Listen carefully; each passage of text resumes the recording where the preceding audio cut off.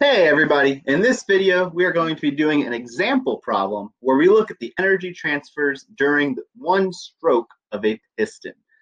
And to start us off, make sure that you have watched this video from Veritasium on YouTube about a fire syringe. This demonstration will help us look at the results we get in the end and try and make sense of them. So make sure you watch this video first.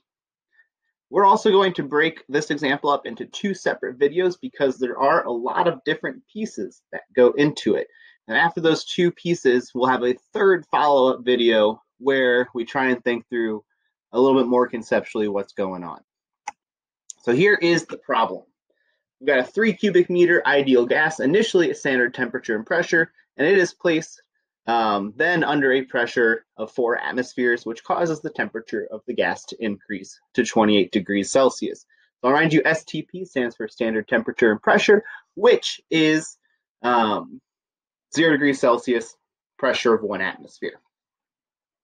Now, five parts of this problem. Part A, what is the new volume of the gas? Part B, Draw a before and after picture of this process, giving the values and labeling the relevant variables. Part C, under each of those pictures, draw a quantitatively correct energy bar graph, um, showing the energy that's stored in the system at that time. Part D, between the pictures, draw an accurate PV diagram for this process and use it to determine the amount of work um, or the amount of energy transferred into or out of the system through that working process. And then part E, between the bar graphs, draw a quantitatively accurate system schema for the process to determine the amount of heating.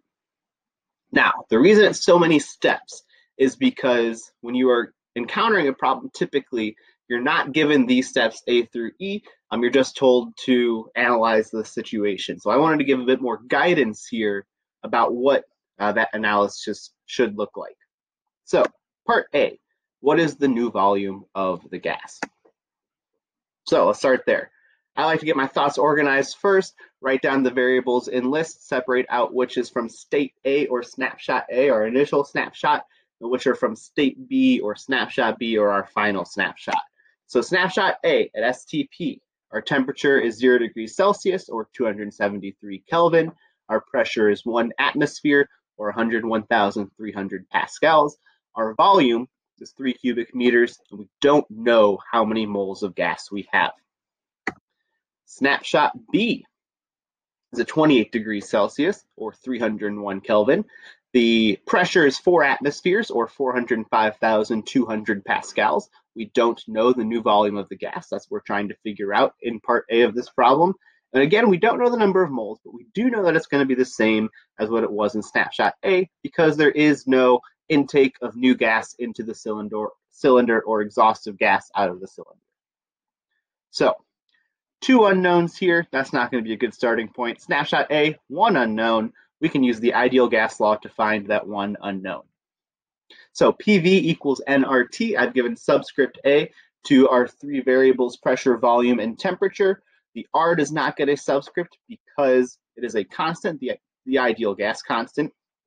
And the n doesn't get a variable because it is the same in both snapshots.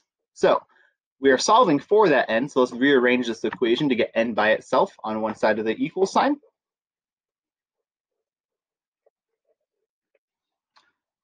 And then uh, let's plug in the values from the box above, and we'll keep in mind that the ideal gas constant R is 8.31 joules per mole Kelvin, and Solving for all that, we end up with 134 moles. Now we know how much gas we have, so we can go over here to snapshot B and figure out the volume at that snapshot. PV equals nRT again. This time we're going to solve that equation for the volume at snapshot B, which is going to be nRT over P. Plug in the values from the box above and our 134 moles that we just found, and we end up with the volume at B being 0.827 cubic meters. Now, uh, a few things to keep in mind with this analysis is that the temperature needs to be in the absolute scale of Kelvin. Um, we can see a hint for that in that the units for our ideal gas constant are joules per mole Kelvin. Uh, but we can also see if we had used degrees Celsius over in this part of the problem, we would have had zero in this denominator, we would have been dividing by zero, which is not a good thing to do. Um, also keep in mind that since we're using this value of 8.31 for our ideal gas constant, which has units of per mole Kelvin um, over that joules there, the amount of gas needs to be in units of moles. So uh, let's keep going. Part B, draw before and after picture of this process, giving the values and labeling the relevant variables.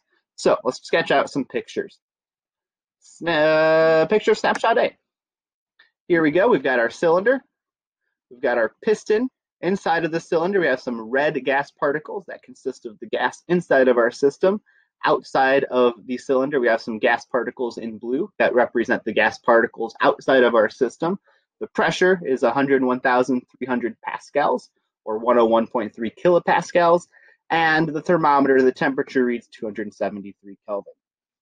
Now, a little note a real pressure gauge would measure, well, the gauge pressure, how much above or below atmospheric pressure we are.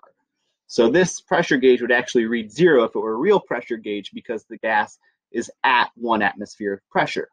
Um, but since we are going to care about absolute pressure in our analysis, we're going to pretend that this is a gauge that measures absolute pressure and that is reading 101,300 pascals for us. Snapshot B. Here it is. So we should visibly see that the gas has been compressed because it went from 3 cubic meters over here to 0.8-ish cubic meters over here. So that's the thing in your sketch you need to make sure you show is that the gas has compressed. Um, our thermometer reading of 301 Kelvin and our absolute pressure reading of 4 atmospheres or 405.2 kilopascals. So those are our sketches. Part C, under each picture, we want to draw a quantitatively correct energy bar graph showing the energy stored in the system at that time. That time meaning our two snapshots. So here's our picture we just drew. And we are now going to draw some energy bar graphs. First, let's start with an O in the middle of our LOL diagram where we define our system and where later on we can draw some flow of energy into or out of that system. So the system goes inside of the circle, which is going to be the gas inside of our cylinder, the red gas particles there. And then the gas in our surroundings, our environment, that's going to be outside of our system. Now we can draw some bar graphs to represent the energy flow. So here is the L in our LOL diagram. It's our internal energy at snapshot A. And let's just say it's two bars of energy, or two blocks of energy. Now, the internal energy at B. Let's think about this for a second. The temperature is a higher temperature, it's 301 Kelvin versus 273. The number of gas, so that means that any one individual gas particle on average has a higher kinetic energy at B than it does at A. We also know the number, total number of gas particles is the same in each. So if we have the same number of gas particles in A and B, and if on average each particle has a higher kinetic energy, then the internal energy at B should be a higher value. So let's go ahead and draw this as three blocks instead of two, and we'll draw that added block. We'll put it in as purple to show that it's an extra block that came from somewhere. Now, it said quantitatively correct. Let's compute the amount of internal energy. Uh, 3 halves nRT computes your internal energy. N being number of moles, our ideal gas constant temperature at A um, being T subscript A. Plug in the values for A, and you end up with an internal energy of about 456,000 joules. Do the same thing for B, 3 halves nRT, the difference being the temperature of B is higher. Uh, plug in our values, and we end up with about 503,000 joules of internal energy at so this quantitatively agrees with what we just thought through, that this number should be a higher value than the number on the left. The internal energy has increased. Part D is where we're going to start the next video for this example. So we'll stop this video here. Make sure you check out the second video for the rest of this problem.